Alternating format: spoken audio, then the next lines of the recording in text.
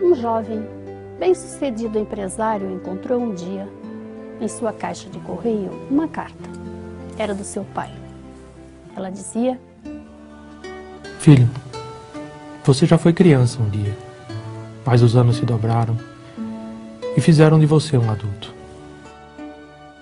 Agora você me olha com certo ar de desprezo, só porque muitos anos se dobraram para mim. E hoje, eu sou um velho. Você observa minhas mãos trêmulas e encarquilhadas e se esquece que foram as primeiras a acariciar as suas, inseguras na infância. Critica os meus passos lentos, vacilantes, esquecendo-se, filho, e que foram eles que te orientaram nos teus primeiros passos. Reclama quando eu te peço para ler uma palavra que os meus olhos já não conseguem vislumbrar com precisão. Esquecido, filho, das várias e várias palavras que eu repeti, quantas vezes foram necessárias para que você aprendesse a falar. Fala da lentidão das minhas decisões, esquecendo-se de que suas primeiras decisões foram por elas balizadas. Diz que eu sou um velho desatualizado, mas eu confesso, filho. Confesso que pensei muito pouco em mim para fazer de você um homem de bem. Reclama da minha saúde debilitada. Mas creia, filho.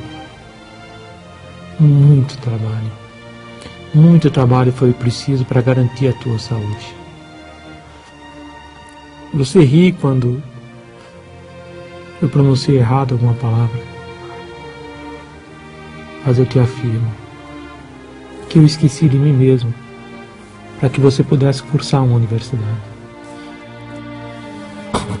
Diz que eu não possuo argumentos convincentes nos raros, raros diálogos que nós temos. Mas, filho, foram muitas vezes que eu advoguei em teu favor as situações difíceis que você se envolvia. Hoje você cresceu.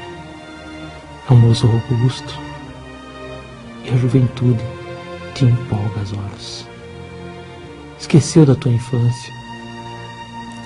Esqueceu os seus primeiros passos, suas primeiras palavras, seus primeiros sorrisos. Mas acredite, filho, tudo isso está bem vivo na memória desse velho cansado, em cujo peito ainda pulsa o mesmo coração amoroso de outrora.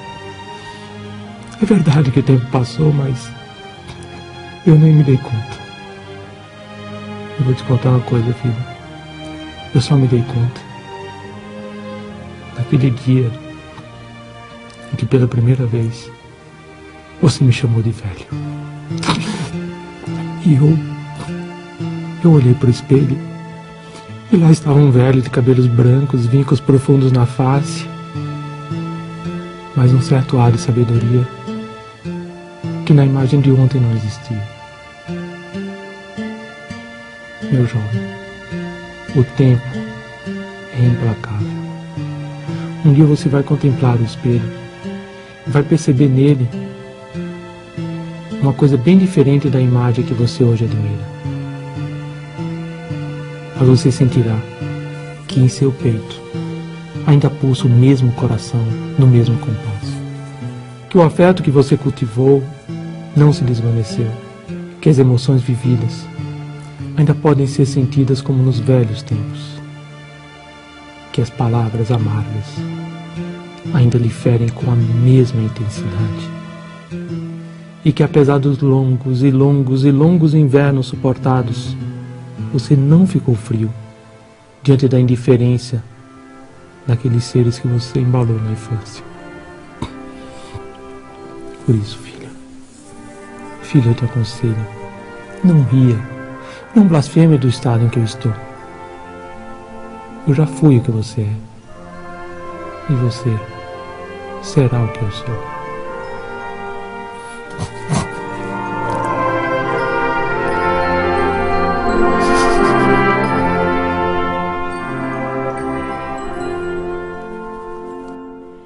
Fechando a carta, com um olhar triste, o homem foi visitar o seu pai lá no asilo. Quando chegou, a enfermeira disse que havia para ele um bilhete. Abrindo, no bilhete lia-se: Lembre, meu filho, do que eu disse.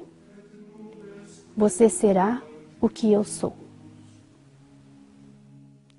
Mas em que quarto está o meu pai? perguntou o jovem. A enfermeira respondeu: No velório. Agora é tarde para pensar nisso.